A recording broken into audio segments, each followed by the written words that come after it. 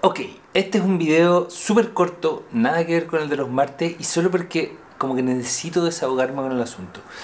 Hace unos días eh, un amigo me mandó este aparato, que les voy a dejar el link abajo, Arsenal. ¿Ah? Es un aparatito que uno pone encima de la cámara y lo que hace es pensar por ti. Entonces le dice a la cámara, ah mira, es esta situación, entonces lo que debiera hacer es tal y tal y tal y tal y le indica todos los parámetros a la cámara para que tu foto salga perfecta. Me pasan un montón de cosas con este aparato, pero las más graves, diría yo, eh, son las siguientes.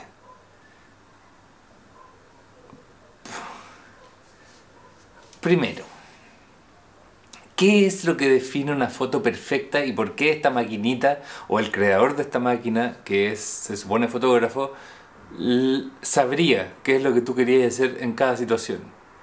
¿Por qué te interesaría tener exactamente la misma foto de toda la gente que tenga este, este aparatito?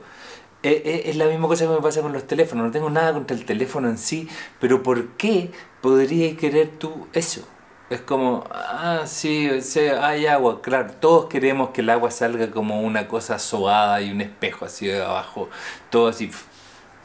No, hay veces que uno va a querer que se vean las bolitas y no va a querer una cosa toda así. Hay veces que del atardecer vaya a querer solo el sol, hay veces que vaya a querer todo el cielo, hay veces que van a pasar miles de cosas. Ahora, obviamente supongo, no, no lo he visto como para retratos ni cosas así, pero supongo para paisaje. Pero me cuesta entender que ese alguien querría eso. Esa es una cosa. Segundo, ¿por qué haría que otro haga la pega por ti? o sea, de nuevo, es parte de la gracia de la foto, es eso. Para mí esto es como comprarse una bicicleta atómica y pasársela a otro para que la ande en el minuto de los cubos. Como decir, ya, ok, llegamos al lugar, toma, ándala tú y me contáis cómo era es lo mismo. O, comprar un libro y pedirle a otro que lo lea y te lo cuente.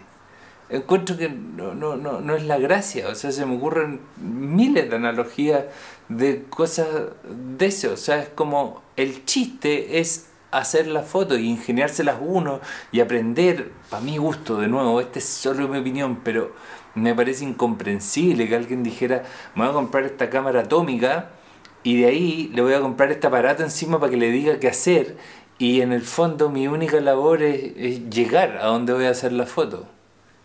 No lo entiendo. A mí no me motiva especialmente la foto paisaje. Lo he dicho mil veces y no tengo problema con eso.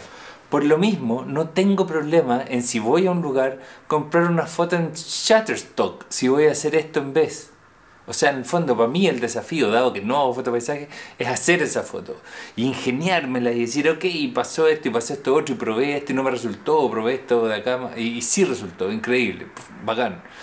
Pero si lo que quiero es una foto bien tomada por alguien más, es más razonable comprarla en Shutterstock que ir hasta allá para que la haga otro, básicamente. No sé. Yo hace tiempo que tengo esa postura como que si tengo una foto sobre algo que no me interesa mucho pero por algún motivo la quiero tener, eh, prefiero sacarla de Google. Siempre va a haber alguien que ya la ha hecho súper bien. Entonces, ese no es el chiste. Para mi gusto, de nuevo. O sea, me cuesta entender que para alguien sea una gracia, pero el aparato se ha vendido como bestia, así que supongo que para mucha gente es la gracia. Eh, pero no lo entiendo. Así que eso, que estén súper bien, por favor, coméntenme qué es lo que opinan ustedes y qué... Eh, ahora, me imagino que dado todos los que siguen este canal es porque les interesa aprender y qué sé yo, así que supongo que todos lo van a encontrar ridículo, pero me interesa ver distintas opiniones y tiene que haber gente que piensa distinto a esto, obviamente, y me encantaría saber qué es y, y, y cómo lo ven para ver si logro darle una vuelta a esto en mi cabeza. Que estén súper bien y nos vemos luego en otro video. Chao.